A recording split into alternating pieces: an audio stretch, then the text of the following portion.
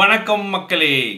Three sixty five days of மார்க்கெட்டிங்கில் day two zero six நம்ம வந்து different types of guerrilla marketing campaigns பார்த்துட்ருக்கோம் இன்றைக்கி என்ன பார்க்க போகிறோம்னா பேர்ன் சிக்ஸ்டின்னு ஒரு பிராண்டு அவங்க வந்து வெயிட் லாஸு அந்த பாடி ஸ்கல்ப்டிங் அந்த அந்த இதில் வந்து கொஞ்சம் பெரிய பிராண்டு ஸோ அவங்க என்ன பண்ணாங்கன்னா எகெயின் ஒரு அவங்களோட யூஎஸ்பியை வந்து காமிச்சாங்க. ஸோ வெயிட் லாஸ் ஸ்லிம்மிங் இந்த மாதிரி ஒரு விஷயத்தை காமிச்சாங்க. அதுக்கு என்ன பண்ணாங்கன்னா அவங்க ப்ராடக்ட் எக்ஸ்பிளைன் பண்ணுற மாதிரி எக்ஸ்பீரியன்ஸ் பண்ணுற மாதிரி ஒரு விஷயத்த பண்ணாங்க.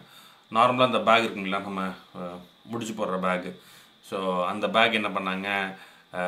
அது வந்து ஒரு ஒரு விமன் ஷேப் மாதிரி பண்ணிட்டு நார்மலாக இருந்து அப்படி இருக்கும்? க்ளோஸ் பண்ணால் அப்படி இருக்கும் இல்லையா? இருக்குன்னா அந்த ஹிப் வந்து குறையிற மாதிரியான ஒரு விஷயத்த பண்ணாங்க. ஸோ இந்த இமேஜில் பார்த்தா உங்களுக்கு தெரியும்.